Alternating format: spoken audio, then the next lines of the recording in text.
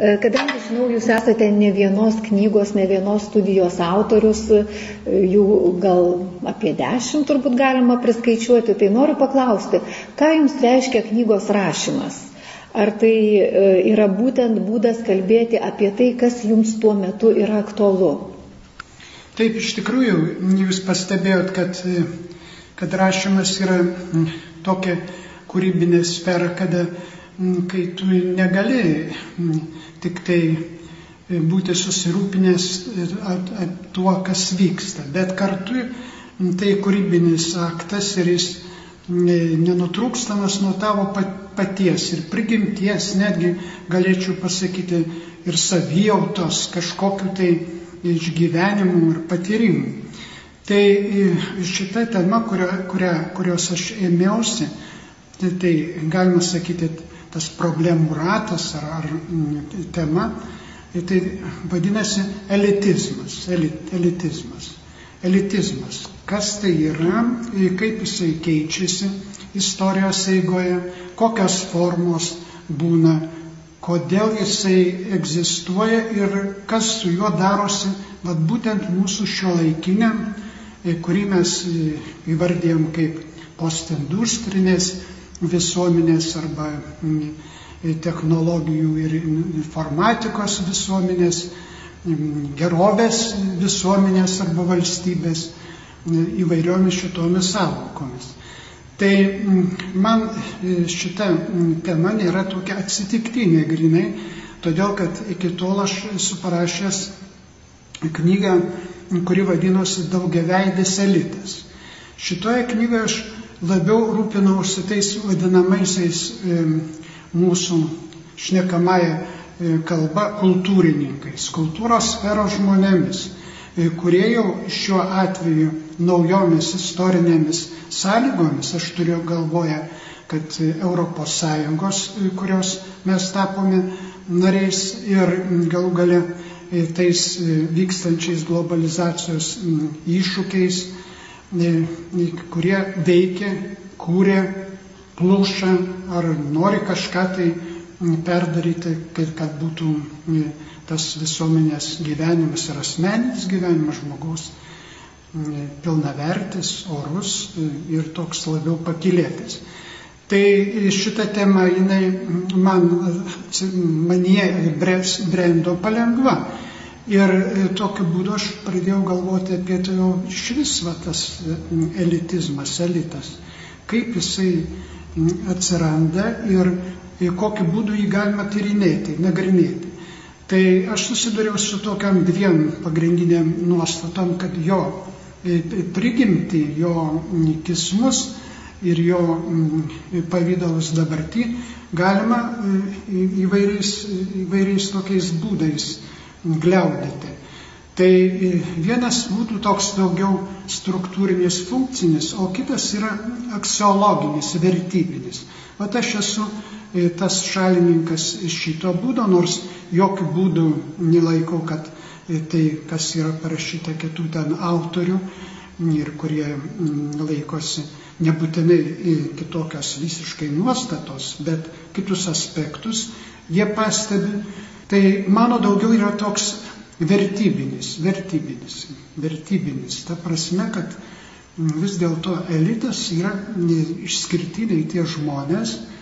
Ir aš čia remiuosi vienu iš klasikų indoeuropeistikos e, Mezilio, kuris tą, patį, tą pačią savoką elitas, elitas, tai tai yra išrinktieji, tai yra e, ypatingai rūšiniai, tai yra, reiškia, nepakartojami, tai, tai yra kažkuo tai, reiškia, skirtiniai iš socialinės tos aplinkos ir taip toliau ir panašiai. Daug tų yra epitetų būtent šitam elitui nužymėti.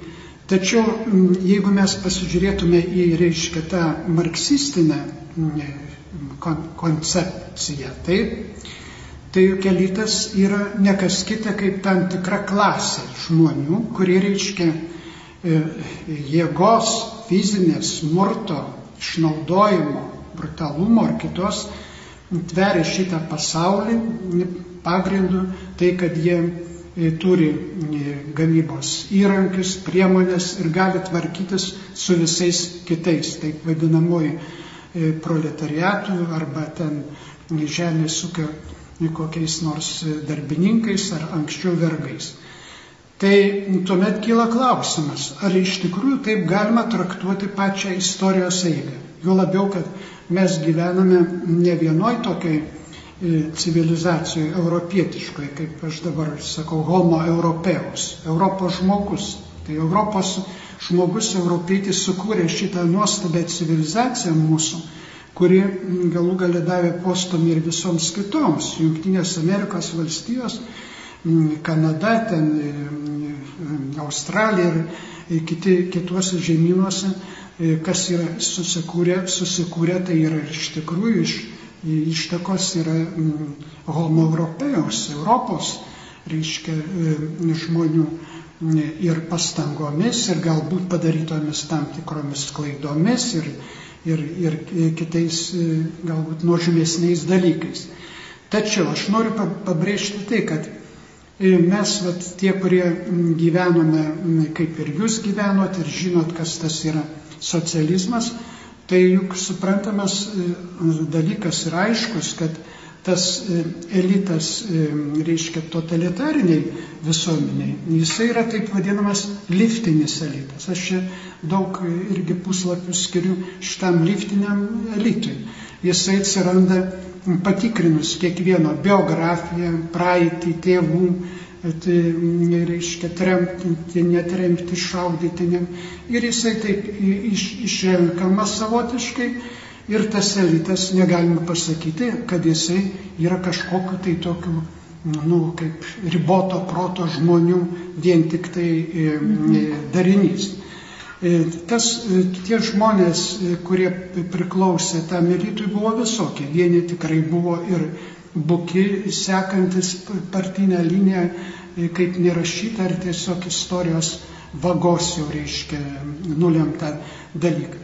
Kiti e, ieškojo būdų, kaip vis tik tai, reiškia, pagarbiai nagrinėti tekstus, ten, sakykime, dalyvauti diskusijos, ginti disertacijas, kaip galų gale, galima sakyti, apsaugoti savo protą. Taip, ir prisitaikyti ir apsaugoti savo protą. Ir ši, šita problema, kaip apsaugoti savo protą, filosofija yra, jinai sena seniausia, nuo netmenamų laikų reiškia.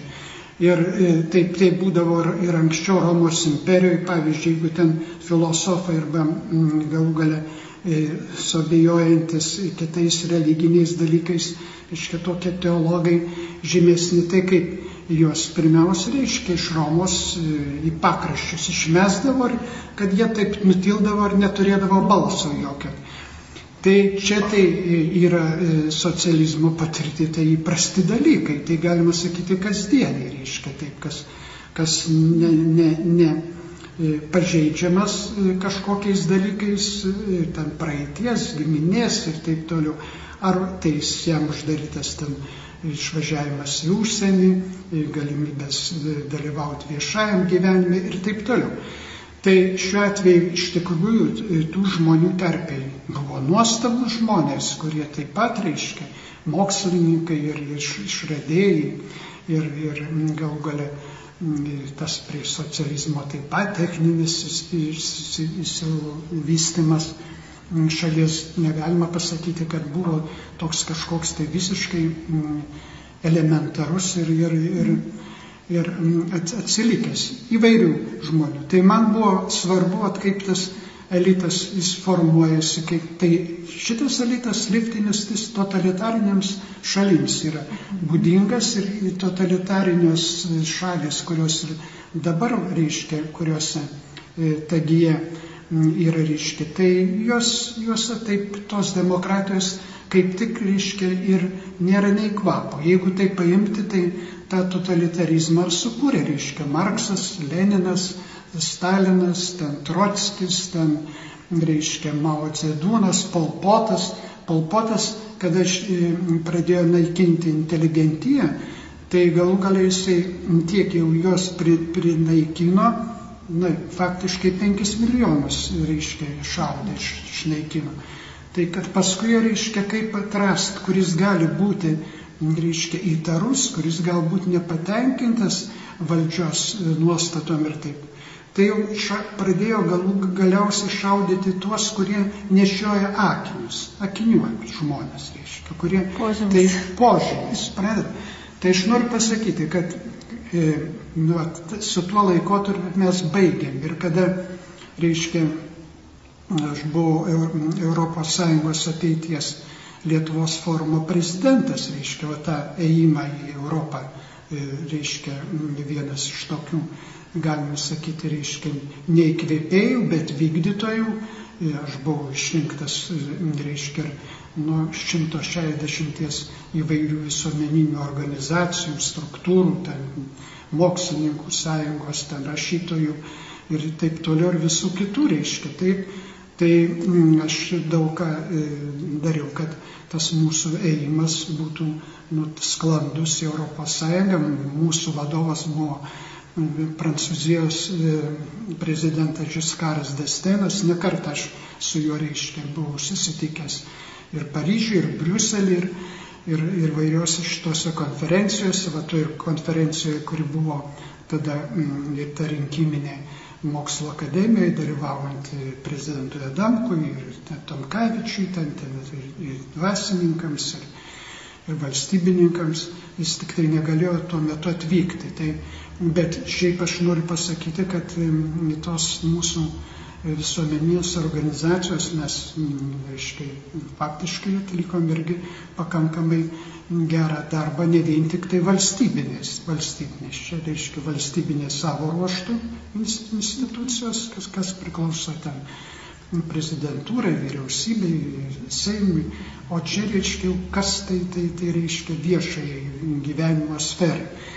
Tai aš noriu pasakyti, kad man tie dalykai, kai kurie, va, to, to elitizmo, jie tokie na, ir, ir patyriminiai, bendraujant su, su, su kitais tais laisvo, laisvo pasaulio žmonėmis.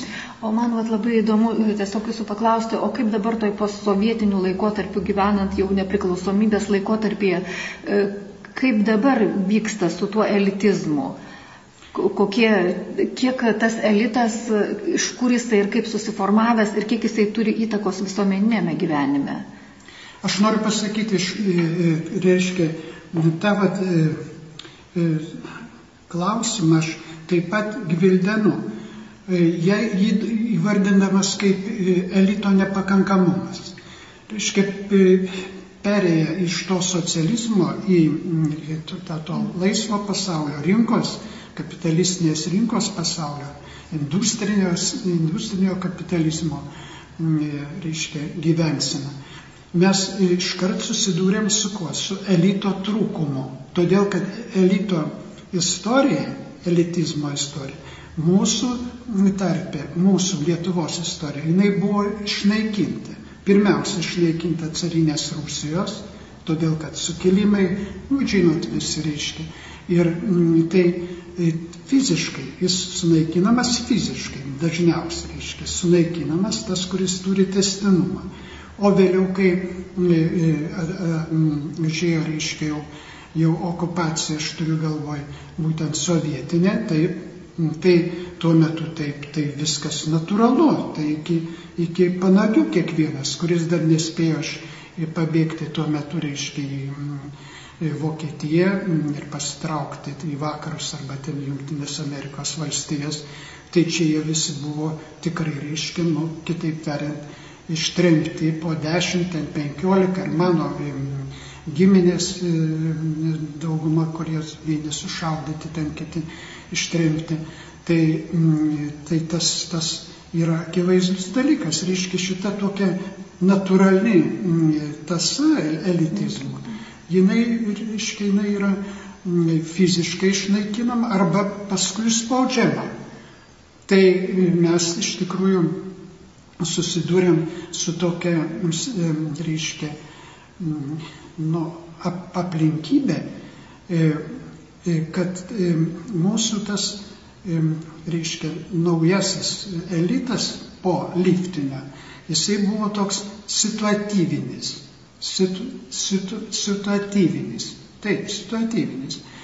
Tai e, galbūt reiškia iš ko e, jis atsirado. Iš tų pačių reiškia tremti buvusių kažkokiu, kurie ten yra, šiek tiek su e, pogrindžių kronika ir taip toliau. Arba reiškia jisai vėlgi tvėrėsi iš tokių pusiau elito, ne, ne, ne elito atstovų. Įvairių reiškia tokių žmonių, kurie, kuriems buvo tikrai neprimtina šita santvarka ir kurie, kurie žinojo apie ją, reiškia, apie tą gyvenimą kitokį, daugiau iš savo, reiškia, tėvų šnekėjimo, senelių ir, panašiai, kas, kas ta buvo Lietuva, reiškia, nepriklausoma Lietuva.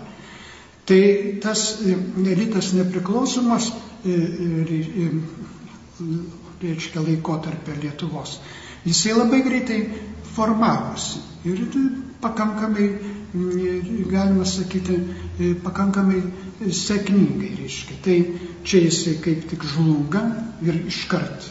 Iškart iš tikrųjų labai yra sudėtingas dalykas, todėl net ir atsirado paskui tokios nediskusijos, bet ir metaforos, kad, reiškia, elitas ir runkeliai, reiškia, čia egzistuoja Lietuva ir panašiai.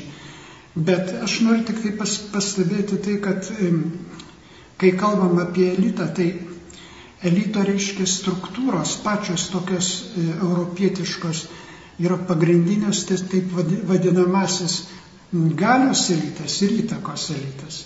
Galios elitas tai yra, reiškia, tas elitas, kuris faktiškai e, išleidžia įstatymus, taip reiškia.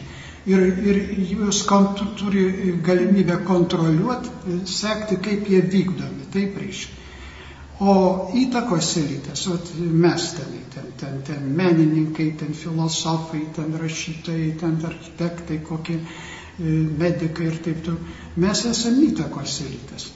Ir faktiškai sėkminga valstybės gyvensina lemia, kaip va šitie du elitai, tas reiškia valdantis galios elitas, čia prasideda galios elitas beveik visose civilizacijose nuo karininkijos, karo, rinktiniai, reiškia, vyrai.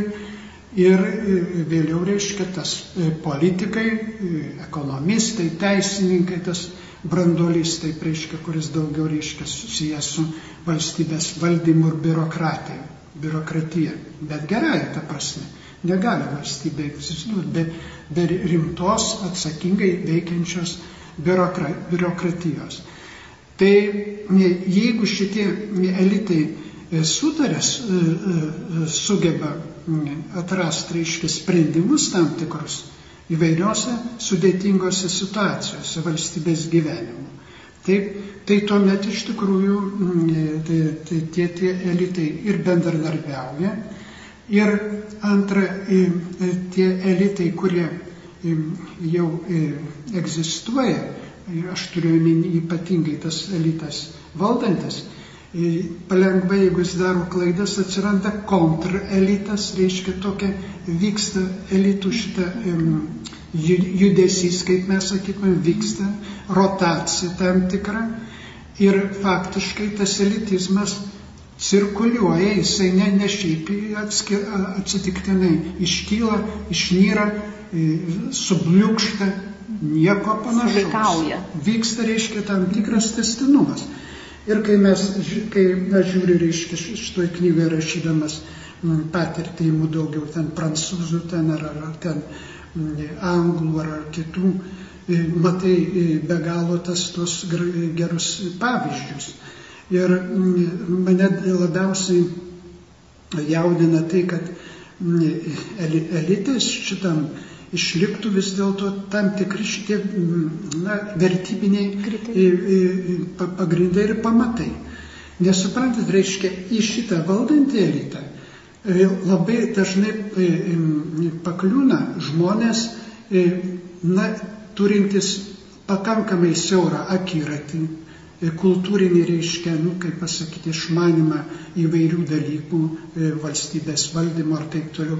Jie atsiranda, vėlgi atsitiktinai, atsitiktinai todėl, kad juos kažkas tai išrenka į, į part, per part, partinius rinkimus, taip reiškia, ir jie per šitos sąrašus atsiranda čia. Taip tai tarp kitko būna beveik visose, visose valstybėse, šitose valstybėse demokratinėse, liberalios demokratinėse. Tai kaip tada vis tik tai, na, apsaugoti tą, tą brandumą ir vienų ir kitų.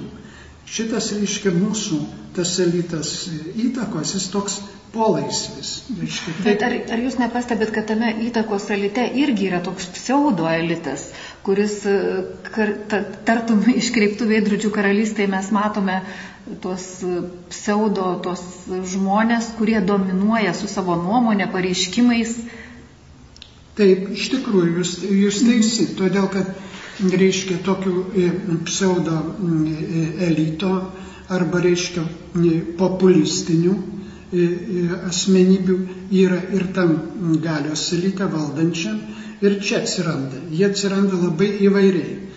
Ir būtent, reiškia, jie, jie faktiškai istorijos eigoje, jų nepa, nepa, jie kartais būna tarsi tokios visų tų diskusijų, e, sumaišties, e, įvairių įtampų socialinių tokios pjūvenos, bet nieko panašaus.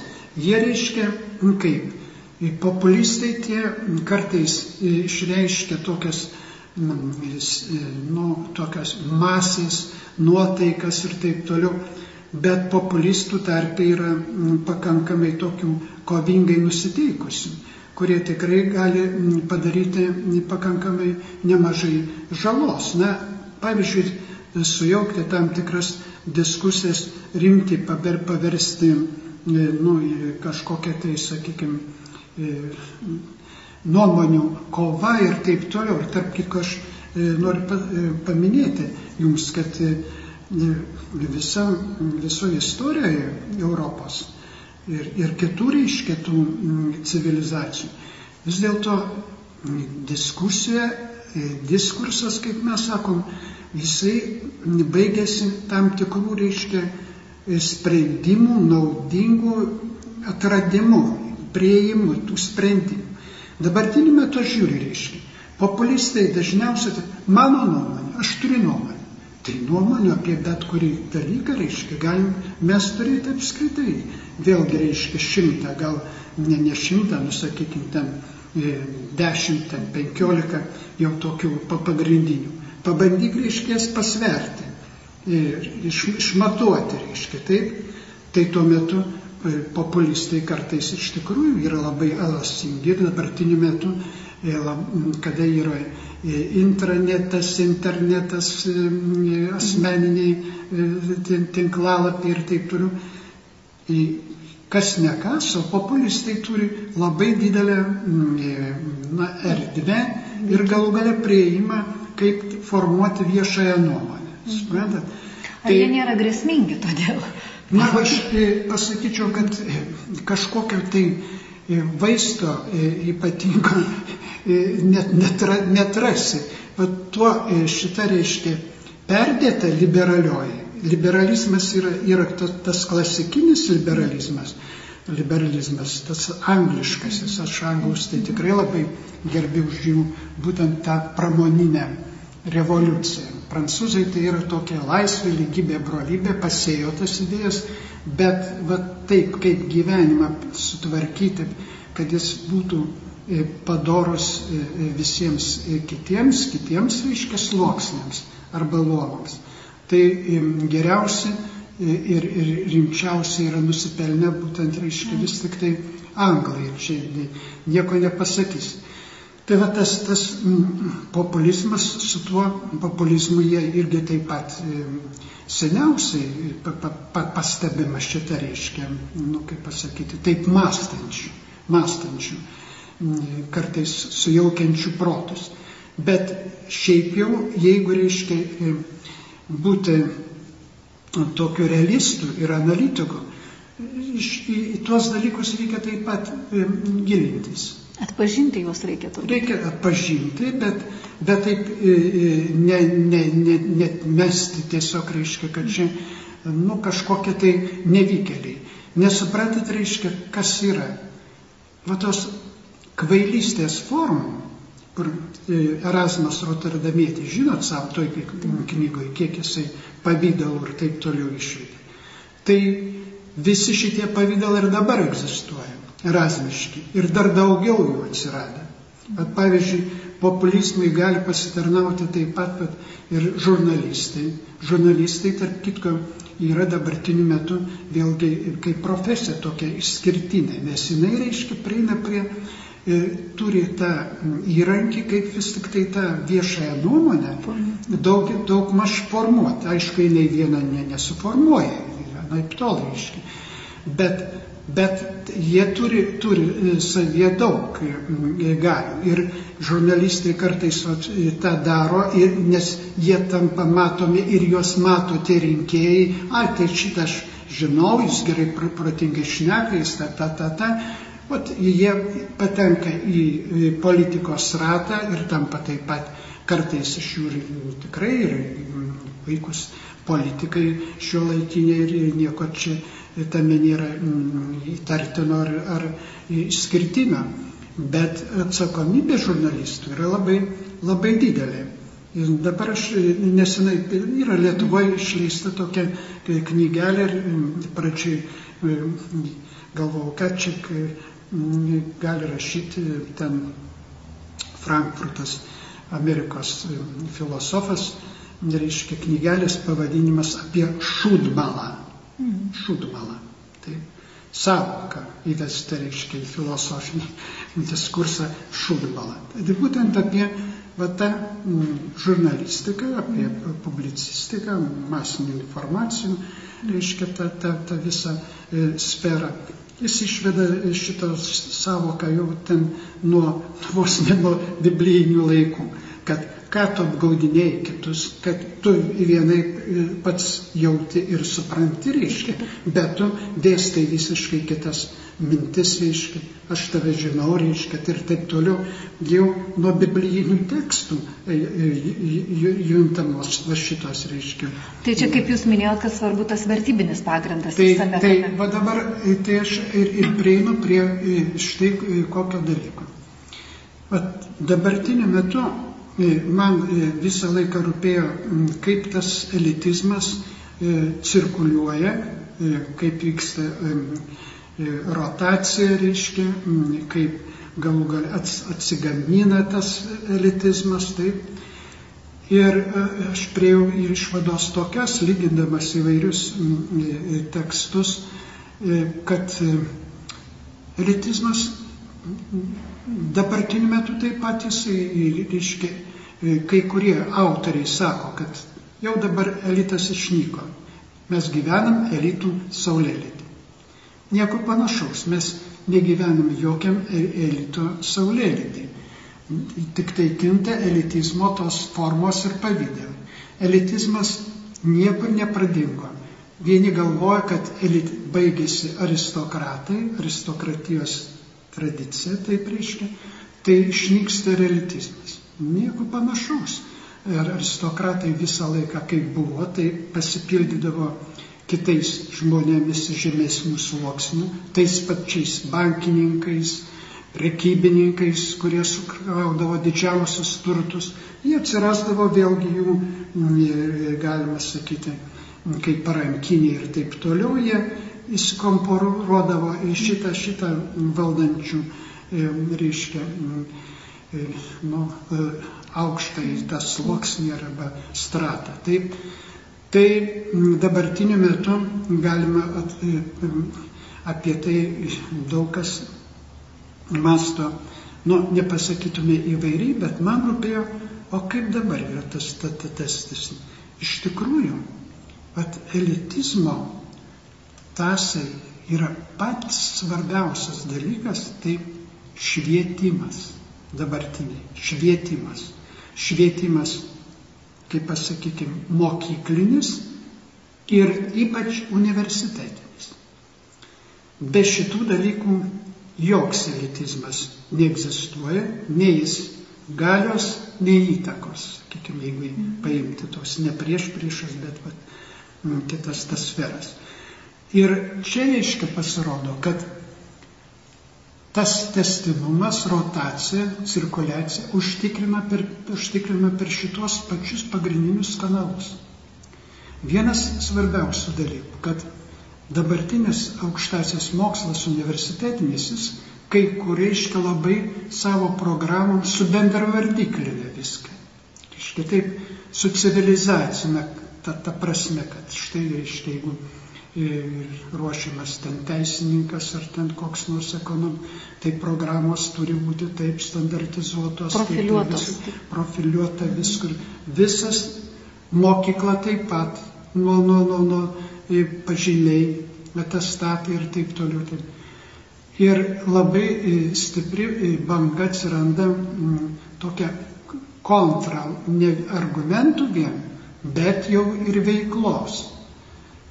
O tas elitizmas dažniausiai užkabinamas tik tai per tam tikrus universitetus. Jų skaičiai nedideli tų universitetų. Įsivaizduokit, Amerikoje virš 500 universitetų. O kokie ten yra pagrindiniai universitetai? Kiekvienas iš mūsų pasakyti. 3-4. Dabar reiškia e, kokiai nors e, Anglijoje, tai visiems aišku. Prancūzijoje taip pat trys, trys gal keturi, per, per, kur, per kuriuos prasisuka visas šitas būsimasis valstybės valdymo aparatas. Su tais, reiškia, menedžiais, vadybininkais, teisininkais, ekonomistais ir panašiai. Taip, reiškia. Tai jie, jų programos, jų programos šitų miestų kadangi tie universitetai yra valstybiniai ir kartu privatus, jie jos, reiškia, jie labai mm, atrenka gerai profesūrą, mm, algos atlyginimai didžiuliai, skirtumai didžiuliai, reiškia, kas kas dėsto ar taip toliau ar panašiai. Tai vad cirkuliacija vyksta per šitos kanalus. Nei vienas iš jų nebūna atėjęs, galbūt vienas kitas iš valstybinės E, reiškia gimnazijos e, vidurinės tos mokyklos grandys. Vien tik tai per kanalą privatų, privačių mokyklų. Irgi tik tai tam tikrų privačių mokyklų, kurios turi savo autoritetą, turi labai gerus mokytojus, dėstytojus, kur dirba vien tik tai grupėmis, grupėse E, tai yra ne, ne klasės, nu klasė, klasė sudaro šeši arba aštuoni žmonės. Dar paskui skaidoma jinai vėl į, į du, dvi grupės, kad faktiškai apsaugot nuo e, bet kokio smurto, e, reiškia, ar ten jisai būtų atsirastų iš mokytojų terpės, ar iš mokinių, reiškia, apsaugoti juos, nepadaryti tokiais kažkokiais, tai suprantat, reiškia, gėlytėm, nejunčiančiam socialinio pasaulio. Šeina jie į gatvę vis tiek jaučia, kas tai yra gatvė, kas tas yra, yra gyvenimas. Bet tarpusavio santykiai, tarpusavio santykiai reiškia mokėjimas išklausyti kitą, įsigilinti tavo um, kolegą, kuris kitaip masto ar kitaip aiškina tą patį dalyką. Taip reiškia, rast kad reikia ir jį gerbti ir kodėl jisai taip, o aš galvoju kitaip, mes prieinam diskutuodami, reiškia, tas sandraugos, sanglaudos, kiti dalykai, jie išpuoselėmi, galima sakyti, iš mažumės. Nega, e, ne, nepasakysi, kad jie šitas, šito e, elito būsimo e, žmonės yra, na kaip pasakyti, suinteresuoti tik tai pat savo kažkokiais ateity uždarbiais ir, pan, ir panašiai. Mąstymas jų turi būti mm, skaidrus, atsakingas, taip reiškia, einantis kartu ne vien tik tai su tiesos ieškojimu, bet ir moraliniam vertybėm. Ir va čia vienas dalykas, kuris pats įdomiausias, ir aš čia tai toje knygoje plukiuosi prie jos, kaip, kaip prieiti prie taip vadinamo, dabar daug kas mm, iš teoretikų, elitologų kalba apie mm, transnacionalinį elitą. kad dabartiniu metu pasaulį valdo pasaulį, kaip visumą reiškia, taip vadinamas transnacionalinis elitas. Kas jį sudaro? Kaip jisai susidaro? Reiškia, na, jį e, e, daug kas apibrėžia taip, kaip šitų pačių galingiausių korporacijų, kurių e, BVP metinis būna didesnis negu atskiros šalies, suprantate, reiškia bendras vidaus produktas sukūrimas kiekvienais metais. Ir tai dažniausia e, vėl multimiliardieriai vien, apsist, e, šalia kurių dirba jų pasamdyti patys geriausi, reiškia, menedžeriai, finansistai, advokatai. O kas dar įdomu, kad e, pagal kai kuriuos tokius tyrimus e, so, socialinius, psichologinius, bet prie jo sunku prieiti prie šito elito, tarp kitko. Visi tą rašo tie e, profesoriai Sorbonos ar kitų, kur, kur reiškia, turi vardus, garsus, išleidę knygas, interviu, reiškia, interviu yra tokie, kad, kad at, šitą gal klausimą palikime. Šitą gal neliesim. Taip kad e, e, labai sunku e, prieiti e, tų net garsiųjų e, sociologų, ten Burdie, ten Pasarono, ten ir kitų, reiškia, mokyklų, e, tiems jau, jau, jau, jau kitiems jau profesoriams prie tų e, tyrimų, prie tos analitikos, apibendrinimų. Nes e, pirmieji tie asmenys jie, reiškia, net nusišalina, nes neįmanoma tokį turtą, tokį, reiškia, transnacionalinį e, substratą, nu, valdyti vieną tokią galvą, nu, ta prasme, būti išmanančių specialistų visais šitais dalykais. Tai atlieka kiti labai gerai parengti žmonės. O kai kurie rašo tyrinėtojai, kad o jiems geriau žimti visiškai nusišalinusią poziciją. Supratėt, reiškia, bet e, jie, jie, jie saugo tą savo gyvenimą, e, privatumą, jie pernelik ir, ir nelasuoja, ir, ir nedalyvauja kažkokiuose tai diskusijose, kur galėtų, reiškia, pareikšti savo nuomonę, pareiškia jų nuomonę kiti, per, per, per, kit, kiti. Tai čia va tas transnacionalinis elitas yra iš tikrųjų labai įdomus e, dalykas. Nu, faktiškai juk yra ir, kaip žinot, reiškia tie e, didžiųjų ten valstybių ten e, tie, tie susitikimai, jie, jie irgi kažką tai bendra, bet tas, tas, tas veikiantis ir vat, reiškia, ką, ką gali pasakyti kritiško tokio transnacionalinio elito atžvilgiu. Šiaip tai melagienų apie jį yra ir pačių vairiausių. Mistikos tiesiog mes. Pavyzdžiui, galvojama, kad, nu, va dabar, va, COVID-19. Mhm. Tai čia gal jų darbas, ta prasme, reiškia, gal jie vat, užsukė šitą mechanizmą, kadangi žmonių perprodukcija yra akivaizdi. Kai kurios nedidelės šalis, Afrikos ir kitos, jos niekad neišbris iš skurdo, Ir apie tai rašo mūsų ten, e, reiškia, Nobelio premijos laureatai, Senas, Hajekas ir kiti, reiškia. Nes žmonijos, žmonių perprodukcija juose yra per didelė.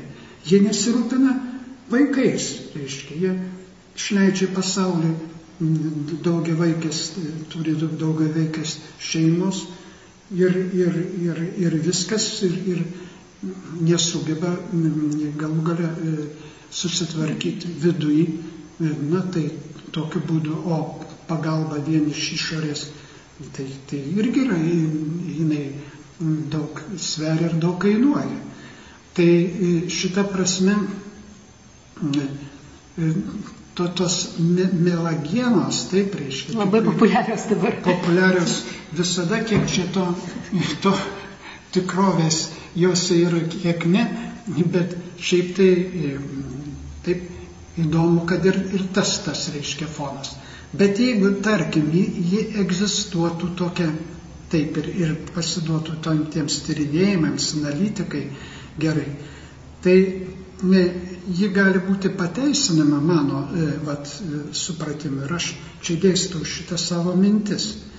Mm, reiškia, e, nu, jeigu jie turi tam tikrą pagrindą, atskaitos tašką, kuriuo jie remiasi darydami kokius nors sprendimus.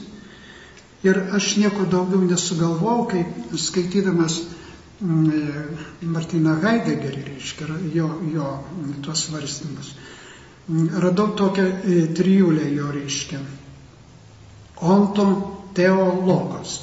Nu, onto per brūkšneliukas, nu, žinot, onto teologos. Reiškia, tai yra pat žmogui, žmogui, e, nu, žmogui apskritai. Labai svarbu, reiškia, turėti supratimą, kas tai yra onto, tai tai pasaulis, tai pasaulį turbūt ne žmogus sukūrė konkretus pasaulį, taip, jo struktūrą, taip, ir pasaulio struktūrą, įsivaizduoti, reiškia, žmonija ten ir taip toliau. Dabar teo, tai Dievo klausimas, ar šitas pasaulis, kuriame mes gyvenam, tai reiškia taip, reiškia, kvėpuojam, alsuojam, siekim, svajojam. Ar jis yra bedieviškas, reiškia, ar yra? Ar Dievas jau pasibaigė ir jau mirė, taip, reiškia, kaip filosofai, kai kurie. Tai jis yra. Ir logos, tai yra kultūra, žodis, žodis, kultūra, taip reiškia.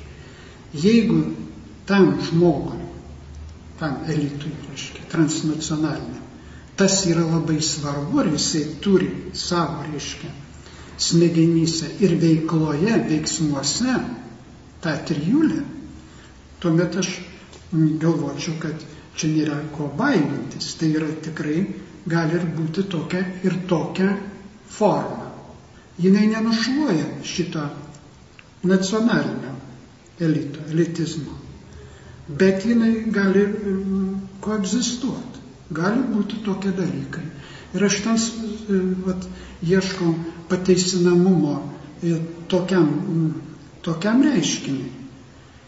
Jeigu būtent jis susijęs su šitą trijulę. Suprantate, reiškia. Mhm. Tai, tai jūsų mano... knyga yra su tokia optimistinė nata. Ir Ar jinai jau padėtas paskutinis taškas knygoje? Jau faktiškai e, aš padėjau, gal, gal tik tai e, su, dar sugrįšiu prie kai kurių tiesiog, nu, tokių patikslinimų. Aš ją rašydamas galvojau, kad bet artėja tas jubiliejus, nebūtinai tas jubiliejus, ar jubiliejus ateina ar praeina, o gyvenimas teka savo vagą. Tai e, nebūtinai čia sutikti su, su kažko tai ten knyga ar taip toliau, kada išleisiu, tada ir, ir bus.